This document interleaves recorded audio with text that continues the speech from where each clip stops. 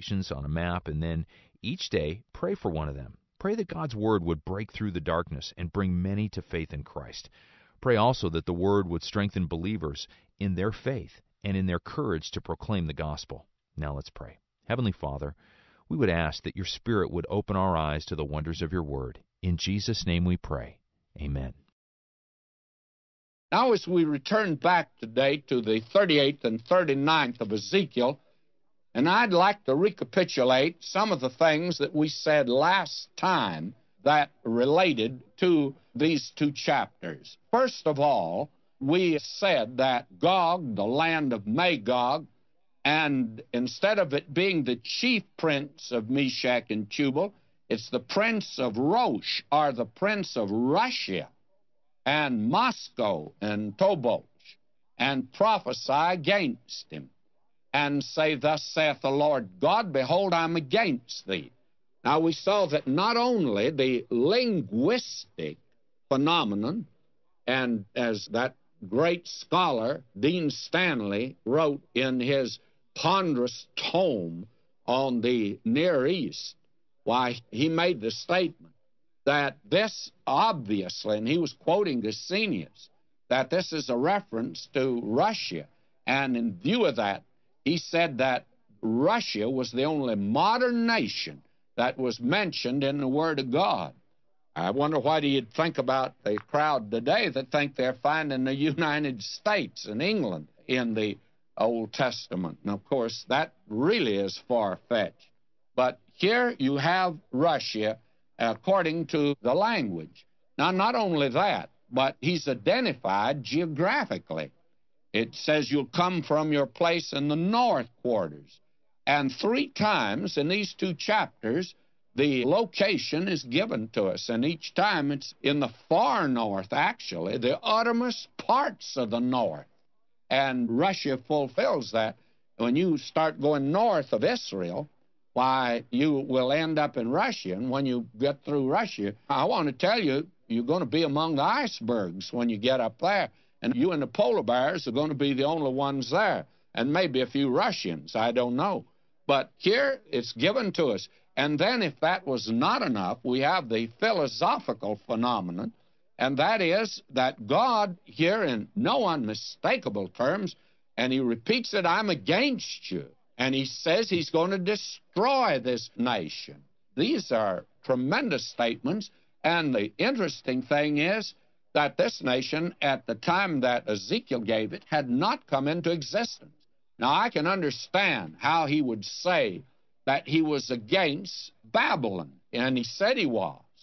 But Babylon was in idolatry, and Babylon had taken his people into captivity. He'd used them for that, but as he told Habakkuk, he said, I intend to judge them. I can understand that. But here is a nation not even in existence. And before it comes into existence, God says, I'm going to take them out of existence.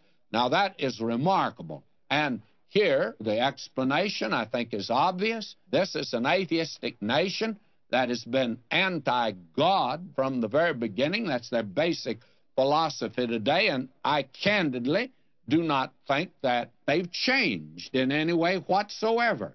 And Plutarch, the Greek, said in his day, said you can find a city that does not have a king, you can find a city that does not have great buildings and many things, but you never saw a city without a religion. Well, today we find that you and I are seeing something never been seen before. God says he intends to judge them. Now he made a statement. He says, I'm going to bring them down into that land. And he makes it clear what land he's talking about. He says that in the latter years that I'm going to bring you down against the mountains of Israel so that we have no misunderstanding here what we're talking about, unless we want to say that names of geographical places mean nothing at all or mean what we want them to mean.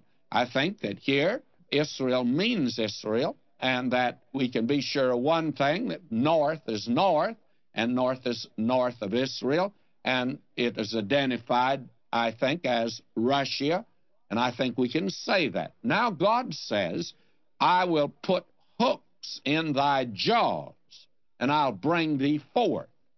Now, that has been interpreted that God was going to put hooks in their jaws when they came down to that land, that He'd lead them out of that land. He'd draw them out, but that's not what He says, because He makes it very clear that He intends to judge them in that land and that they're not going to come out of it. He's not going to use a hook to bring them out of that land. Over in verse 11 of chapter 39, it says, it shall come to pass in that day that I will give unto Gog a place there of graves in Israel. Now, if he's going to bury them in Israel, obviously he's not going to lead them out of Israel. And he makes it very clear that this is going to be a slaughter, the like of which has not been seen probably in the history of the world. And this is something, therefore, that causes us to go back and what does he mean? He puts hooks into their jaws, and I'll bring thee forth.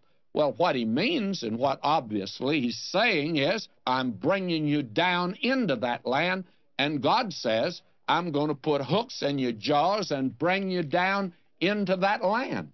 Now, this is a land, therefore, that Israel will be back in at that time. Now, for years, that land was not occupied by them. To tell the truth, after Titus had destroyed that land, why, these people were sold into slavery throughout the world, and they were scattered throughout the world. And the land was not a land of milk and honey. We have seen in the book of Ezekiel that even the Negev down there was covered with forest. God said he was going to burn that out. He did. At least there are no trees down there today.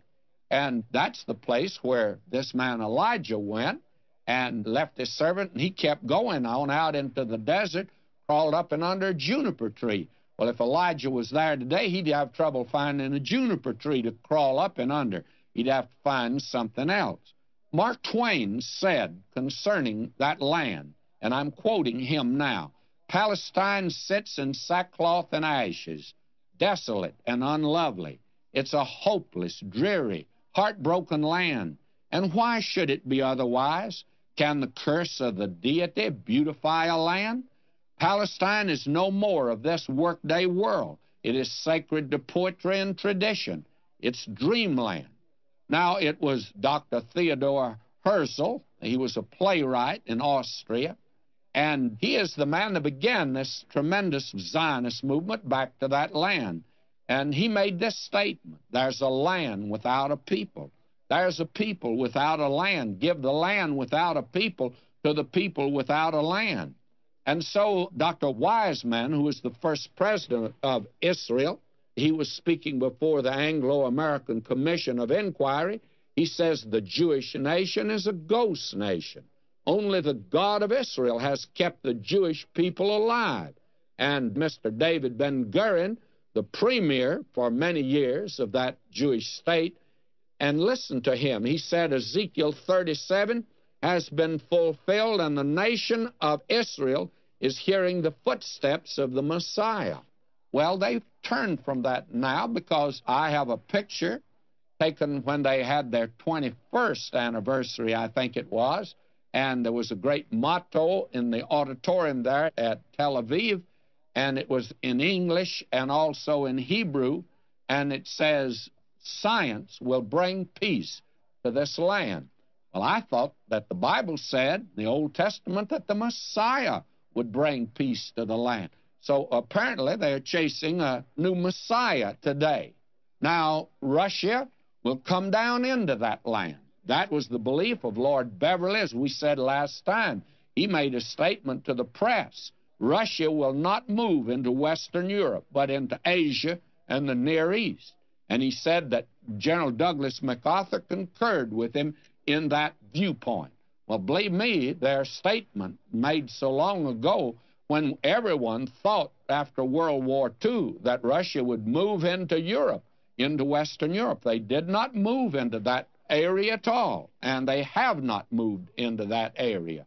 Now, the situation, I think, is simply this God says, I'll put hooks in your jaws and bring you down into that land. Now, I believe that today we can already see three hooks that God has that He could use to bring them down into that land. Now, number one is this they're looking for a warm water port, a place for ships. And Russia's moving in this direction.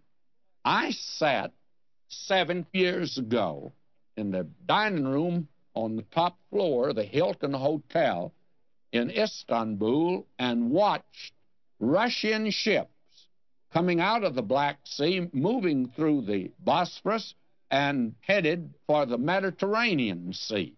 And that was something that took place after the time that they had the Six Day War. And after that war, the Russian naval strength increased 40%. And what are they looking for? They're looking for a warm water port. They're moving south. And today they have a tremendous fleet. And the Admiral Sergei Gorshkov, he's made this statement, and I'm quoting him now. The flag of the Soviet Navy now proudly flies over the oceans of the world. Sooner or later, the United States will have to understand that it no longer has mastery of the seas. They're looking for a warm water port. Where are they going? Well, all I know is they're going where they're going, and they're headed for the Mediterranean. And what nation along the east side of the Mediterranean would be the one that would be suitable? Be the nation Israel. And today, they're very much interested in moving southward. God has put a hook in the jaw. Now, there is a second hook God has there, and that is oil. Today we are being reminded that the world is running short of energy, oil being one of the chemicals that we're running short on. And as a result, the world is turning to where the oil is. The oil is in the Near East. And whether it's in Israel or not is actually not the important thing. The important thing is that a great deal of that oil, in spite of the strained relations between the Arabs and Israel, is coming through that land. And that makes it quite amazing because the ships not being able to get through the Suez Canal put it off at a port that Israel has taken, and then it is pumped across the land of Israel, and it is brought out in Ashdod, being one place, and of course, in Haifa, that was cut off after the Six Day War, but could be renewed any moment. So that the oil becomes something the world's interested in. As far back as 1955, I brought a message that Russia was hungering for the Arabian oil, that they wanted it. And an editor of a paper in downtown Los Angeles came up to hear the message. He disagreed with it. After that, he made a trip over, and I have here his article, a copy of it, and he said Russia hungers for Arabian oil. Changed his viewpoint after he'd been over there. Now, the oil reserves go something like this, and I got this from a man that is in research, and he's close to the oil industry that the total oil reserves in the earth today are estimated at 300 billion barrels.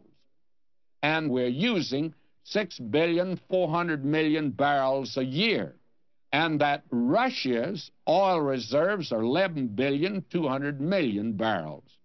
And the United States has 35 billion barrels in oil reserves. But in the Middle East, the oil reserves amount to 167 billion barrels. Well, there's over three times as much oil there as the United States and Russia combined have. Apparently, that's a pretty good hook God's got in the jaws because any modern nation today is going to have to have oil. And that's where it is today. Now, the third hook we'd like to mention is the Dead Sea. In the Dead Sea, there is untold wealth in chemicals that are in saturation in the water there. And it's also a place where men are looking today. It's estimated that the Dead Sea contains 2 billion tons of potassium chloride, which is potash. And it's certainly needed today to sweeten up and enrich the soil that's being depleted in many areas, including our own. And that's only one. There's 22 billion tons of magnesium chloride. And then there's 6 billion tons of calcium chloride. And there are others, caesium, cobalt, manganese, are there as well, actually, as gold. And believe me, friends, that effort is being made today to get it out. Now, if you had been around, oh, a few million years ago, and you would have seen the Lord forming this earth and fixing this place there, the Dead Sea, you would probably have asked him, What are you doing there, damming up that sea? Well, you're going to have a pretty salty place. Or he would have said, I'm baiting a hook. And you would have said, Baiting a hook for what? He said, Well, there's going to be coming down here in a few million years a nation up north, and I'm going to bring them down. so I'm just baiting my hook now a little ahead of time. And that's what God's been doing. He's been baiting a hook. Now, they're coming down. And the question is, when are they coming down? Well, here is where so many expositors disagree. There's some that believe that at the end of this age, that is where we are today, before the church leaves, they'll come down. There are others that believe that he'll come down at the beginning of the Great Tribulation, others at the end, and there are some believe that he'll come down at the beginning of the millennium. Now, I'm not going into these different viewpoints. The only thing that I want to say today is that my particular viewpoint is that it comes down in the latter days. And these latter days, as we've seen in the other prophets, and it becomes a technical term, it specifically refers to the Great Tribulation period.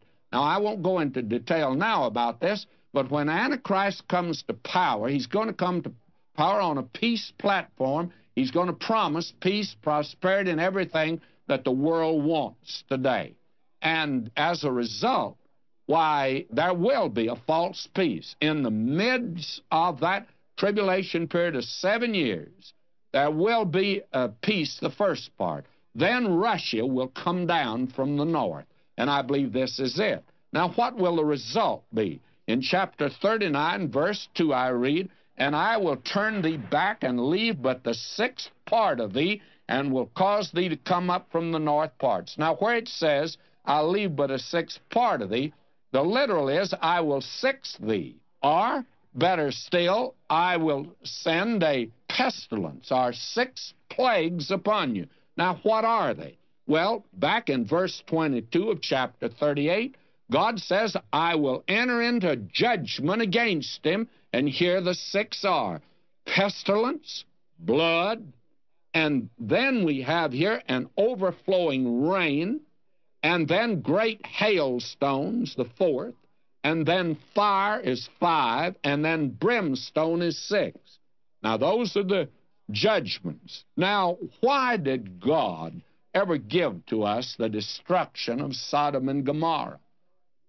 Just to let you and me know how he's going to judge these people. How did he destroy Sodom and Gomorrah? Well, he did it with brimstone, we're told, that there rained upon the city hail and fire and brimstone. And that's exactly the way God intends to destroy this army that will be coming out of the north against his people to destroy them.